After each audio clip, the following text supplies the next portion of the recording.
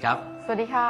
ครับครับต้อนรับทุกท่านนะครับเข้าสู่รายการข้อคิดรอบตัวนะครับ ผมธีรเดชงามเหลือครับ และดิฉันรับผลสิริพรชัยเจริญนะคะ รายการที่คุณผู้ชมครับกำลังชมอยู่ในขณะนี้นะครับก็ถือได้ว่าเป็นรายการหนึ่งที่จะช่วยในการแก้ไขปัญหาอือฮึในการดำเนินชีวิตต่างๆ เพราะว่าตอนนี้ปัญหาก็เกิดขึ้นในสังคมนานับไม่ถ้วนเลยนะฮะ แล้วก็รุมเร้าเข้ามาในชีวิตของพวกเรานะคะ เป็นเรื่องครัปบกติเลย ใช่แล้วนะฮะ แล้วก็ที่สำคัญเลยครับถ้าเกิดพูดถึงเรื่องของปัญหาสังคมก็ต้องมีคนที่คอยมาคอยชี้แนะด้วย นะเพราะว่าประชาชนเนี่ยก็ต้องการที่จะหาเครื่องยึดเหนี่ยวจิตใจอือฮึหรือว่าต้องการใครก็ได้สักคนหนึ่งนะครับ เพื่อที่จะมีมาตอบคำถามให้กับเราค่ะนะครับซึ่งรายการของเรานะคะก็มีพระอาจารย์หนึ่งท่านนะคะ ที่ครัจะบมาไขข้อข้องใจเหล่านั้นให้แก่คุณผู้ชมค่ะ ซึ่งพระอาจารย์ท่านคือ พระมหาดรสมชายฐานวุฒโธค่ะ ผู้ช่วยเจ้าอาวาสวัดพระธรรมกายค่ะ ครับเดี๋ยวเราไปพบกับท่านพระอาจารย์เลยนะครับค่ะเชิญครับ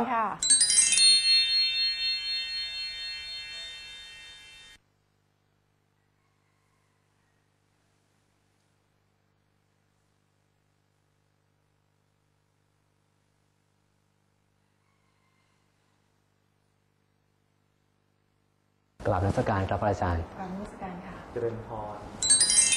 คุณผู้ชมคะตอนนี้นะคะอ่าพระอาจารย์ที่นั่งอยู่กับเรา คือพระมหาดรสมชายฐานวุฒโธผู้ช่วยเจ้าอาวาสวัดพระธรรมกายค่ะ ครับ ซึ่งพระอาจารย์ก็จะเป็นผู้ที่ซื่อนะครับมา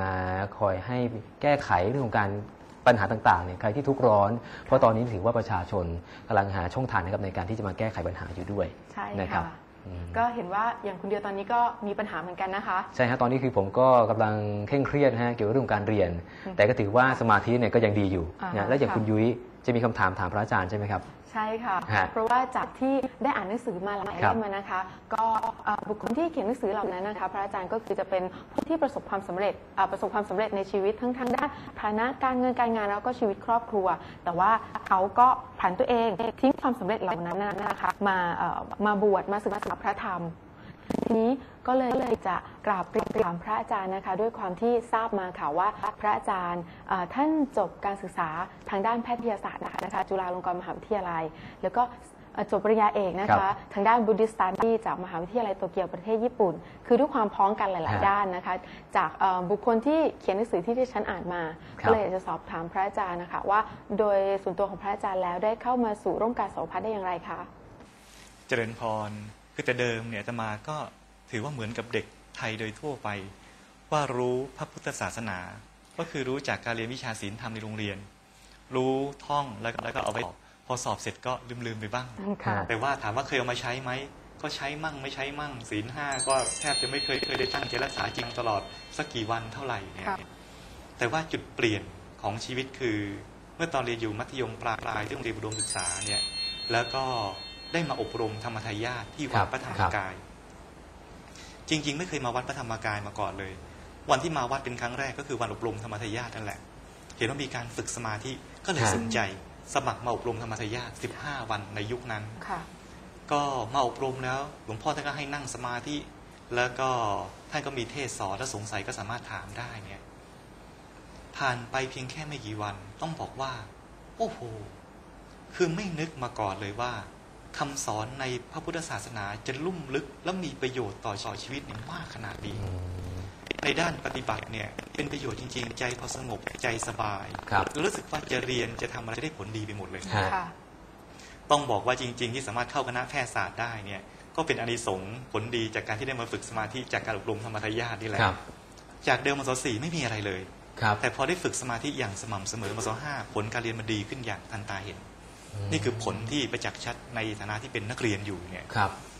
ส่วนว่าประโยชน์ที่ลึกซึ้งในด้านของความสงบใจวันนั้นความสุขของการดำเนินชีวิตเนี่ยก็มีมหาศาลฮะในด้านธรรมะภาคปริยัติค่ะหลักธรรมที่หลวงพ่อท่านสอนและท่านเปิดโอกาสให้ถาม เราสงสัยอะไรสามารถถามได้เต็มที่อืมและคำสอนของท่านเนี่ย สิ่งที่ท่านตอบมันเป็นเหตุเป็นผล ที่เราในฐานะคนยุคใหม่ฟังแล้วเนี่ยเรารับได้ค่ะครับอยากจะให้พระอาจารย์ลองยกตัวอย่างได้ไหมคะ ว่าสักคำถามหนึ่งที่พระอาจารย์เคยถามเอ่อพระอาจารย์รูปนั้นนะคะแล้วสามารถเคลียร์คำตอบให้เด็กสายวิทย์อย่างเราโอ้กระจ่างเลย สมมุติเราก็สงสัยถามว่านรกสวรรค์มีจริงไหมค่ะแล้วก็ตายแล้วเกิดจริงเหรอกฎแห่งกรรมมีจริงไหมเป็นการมาขู่กันหรือเปล่าครับไม่กล้าทำบาปหรือเปล่าอย่างนี้นะหรือถามว่าระลึกชาติมีจริงไหมอ๋อค่ะอืมก็ถามไม่ชินไม่เห็นมีเลยเนี่ยแล้วจะไประลึกชาติได้ยังไง ท่านบอกว่ามีจริง แล้วท่านก็อธิบายเปรียบว่าเหมือนอย่างนี้ คือถามก่อนเลย อันนี้อาตมาขอยืมคำตอบของท่านมาถามคุณธีรเดชกับคุณครับเอ่อรับขวัญศรีด้วยว่าค่ะคุณรัศพีอยากจะระลึกชาติได้ไหมอืมผมก็อยากคืนนี้ให้ระลึกชาติได้เลย ทั้งคุณรับขวัญศรีทั้งคุณธีรเดชโดยคืนนี้โดยการที่ว่านั่งสมาธิหรือเจว่าริญพรอย่างนั้นเลยแหละครับพระอาจารย์แล้วก็ท่านผู้ชมทางบ้านทุกคนเนี่ยถ้าเกิดสนใจคืนนี้ให้ระลึกชาติได้หมดทุกท่านเลย ยกทีมยกชั้นหมดทั้งประเทศต้องต้องต้องเรียนถามพระอาจารย์ว่าต้องปฏิบัติยังไงบ้างครับ ถ้าเกิดว่าว่าคำถามนี้เกิดขึ้นแล้ว เจริญพรเอางี้ ถ้ากลางคืนคืนนี้นะฟ้าโปร่งเนี่ย เราไปอยู่กลางแจ้ง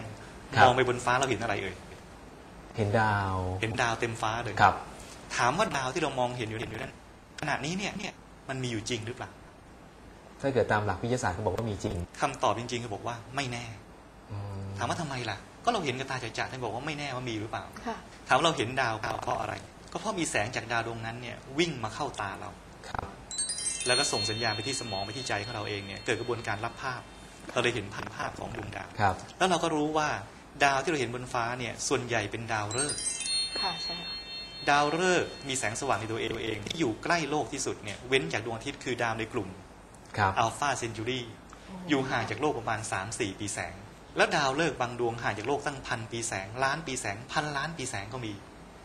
ขณะที่เราเห็นมีประกายแวบๆบนดาวดวงนั้นเนี่ยจริง ๆ เป็นการระเบิดขึ้นมาเมื่อพันปีที่แล้ว ล้านปีที่แล้ว พันล้านปีที่แล้ว แต่ภาพเหตุการณ์เพิ่งมาถึงตาเราอืมขณะนี้ดาวดวงนั้นอาจจะเกิดการยุบตัว กลายเป็นดาวนิวตรอน หรือกลายเป็นหล่มดำไปแล้วก็ได้ก็ได้อ่าอืมเห็นที่เราเห็นในบนท้องฟ้าอดีตทั้งนั้นเลย อดีตสี่สามปีพันปีปีล้านปีพันล้านปีเนี่ย ดูทีเดียวระลึกชาติได้หลายยุคเลยนะที่เป็นอย่างนี้ สิ่งต่างๆที่เกิดขึ้นมาแล้วมันไม่ได้หายไปไหน ภาพเหตุการณ์ก็วิ่งไปค่ะขอที่เราสามารถเดินทางไปดักข้างหน้า ด้วยระยะทางที่แสงเดินทางหนึ่งปี เราก็จะเห็นภาพเหตุการณ์เมื่อปีก่อนครับ ถ้าไปดักระยะทางที่แสงเดินทางล้านปี ก็เห็นเหตุการณ์เมื่อล้านปีที่แล้วอืมแต่ถามว่าอะไรละเร็วกว่าแสงไอน์สไตน์บอกแสงเร็วที่สุดไม่ใช่เลยครับใช่ค่ะบอกมีอย่างเร็วกว่าแสงคือ ใจของคนคนแต่ต้องเป็นใจที่เป็นสมาธิตั้งมั่น ไม่ฟุ้งซ่านแน่วแน่ในฌานสมาบัติเนี่ยจนอภิญญาเกิดขึ้นอย่างนั้น แล้วก็สามารถระลึกชาติได้ สามารถระลึกชาติได้จเจริญริงพรๆนะฮะได้จริง ๆ นี่เป็นตัวอย่างหนึ่งในการอธิบายของท่านค่ะครับเราฟังแล้วเอออย่างนี้เนี่ยรู้สึกว่าพอรับได้ อย่างนี้รับได้คือสามารถที่จะพิสูจน์ได้ด้วยอย่างนั้นหรือเปล่าเจคริรับญพรอ๋อครับเพราะว่าจริง ๆ แล้วในยบางที